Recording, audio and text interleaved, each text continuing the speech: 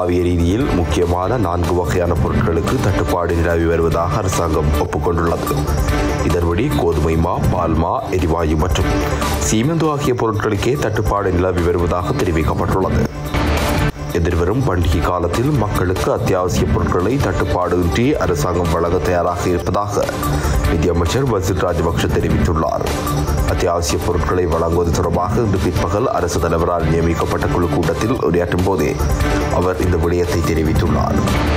அரசு தாதியர்களின் பணி புறக்கணிப்பு போராட்டம் காரணமாக ஒசுசல விற்பனை நிலையங்கள் மூலம் மருந்துகளை இலவசமாக வழங்குவதற்கு தீர்மானம் எடுக்கப்பட்டுள்ளதாக ராஜாங்க அமைச்சர் பேராசிரியர் சன்னஜிய சுமன தெரிவித்துள்ளார்.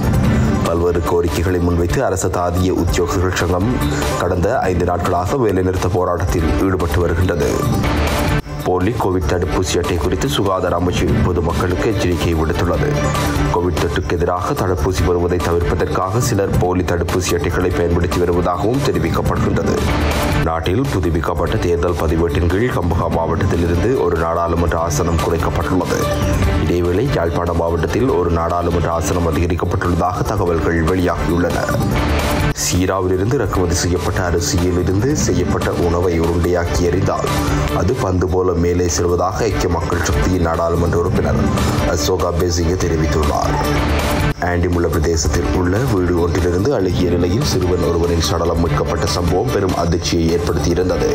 மேலும் இந்த சம்பவம் தொடர்பில் கைதான சிறுவனின் தாய் தந்தை மற்றும் பாட்டி ஆகியோர் நீதிமன்றத்தில் முன்னிலைப்படுத்தப்பட்டனர்.